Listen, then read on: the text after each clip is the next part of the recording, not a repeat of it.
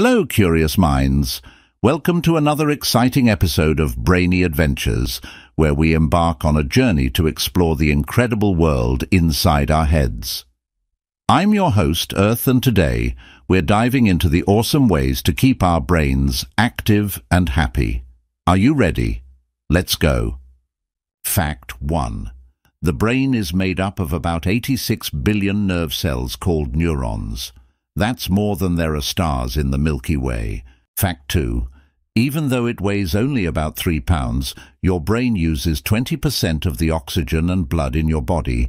It's a real energy powerhouse. Fact 3. When you learn something new, your brain creates new connections between neurons. It's like building a superhighway for information. Now, let's move on to the exciting part, keeping our brains active and ready for action. Who's up for some brainy exercises? Tip 1. Exercise your body to exercise your brain. When you run, jump or play sports, you're not just keeping your muscles fit, you're also giving your brain a workout. So, get up and get moving. And there you have it, brainy adventurers. We've uncovered some fascinating facts about the brain and learned how to keep it active and buzzing with energy.